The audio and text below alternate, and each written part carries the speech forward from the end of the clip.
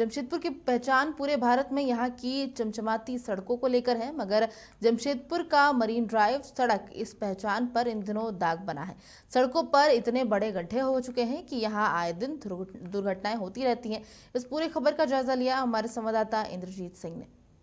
जमशेदपुर की पहचान झारखंड सहित पूरे भारत में यहाँ की चमचमाती सड़कें और यहाँ का जो वातावरण है, इसके लिए जाना जाता है। मगर यहाँ की सड़कों को देख करके आपको अनुमान लग जाएगा कि जमशेदपुर की पहचान पे ये किस तरह का दाग लग रहा है। ये जमशेदपुर का मेरिन ड्राइव सड़क है, जिस सड़क को देखने के बाद आपको साफ़ समझ में आ जाएगा कि कैसे जमशेदपुर के लोगों को ठगा जा रहा है। और ये सड़क जो है किस तरह से गड्ढे में तब्दील हो गई है और बड़ी बड़ी गाड़ियाँ सहित कारें मोटरसाइकिल इसी गाड़ी से पार हो रही है।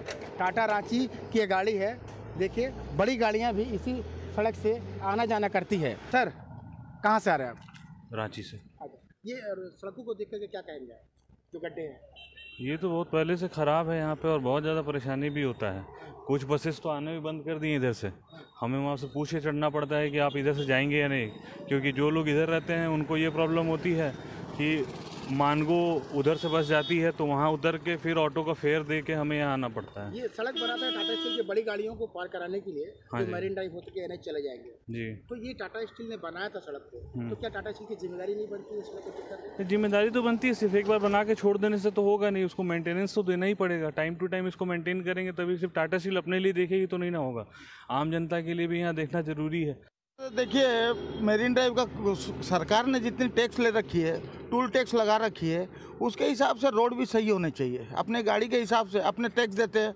गाड़ी जो रोड में चलती है टायर घिसती है बॉडी खराब होती है हर चीज़ की खराब होती है। तो वो सरकार देगी क्या हम लोग को?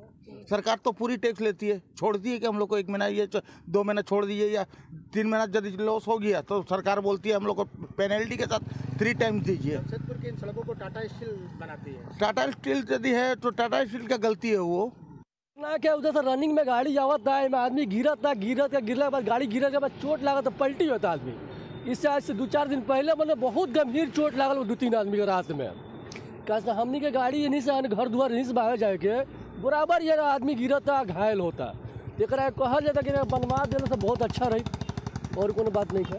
आपको हम नज़दीक से इस गड्ढों को दिखाते हैं कि कैसे ये गड्ढा जो है, मौत के के रूप में परिवर्तित हो गया है। इन गड्ढों को देख करके आपको अंदाज़ा लग जाएगा कि हाँ किसी भी गाड़ी का टायर इन करने के बाद वो कैसे बचेगा और कैसे अपनी गाड़ी को संभालेगा।